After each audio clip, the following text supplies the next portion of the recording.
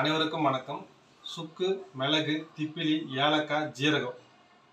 இது ஐந்தையும் சமாளம் எடுத்துக்கிட்டு கொஞ்சம் நாட்டு சக்கரை சேர்த்து கலந்து வச்சுக்கோங்க. காலையில் ஒரு ஸ்பூன் சாயந்தரத்தில் ஒரு ஸ்பூன் டெய்லி குடிங்க. ஒரு மண்டலம் குடிச்சிங்கனாக்கா உடம்புல இருக்க நாட்பட்ட கழிவுகள் எல்லாமே சளி கழிவுகள் எல்லாமே கரைந்து போகும். இது வந்து பஞ்ச தீபாக்கணி சூர்ணம்னு சொல்லிட்டு கடைகளில் கிடைக்கும்.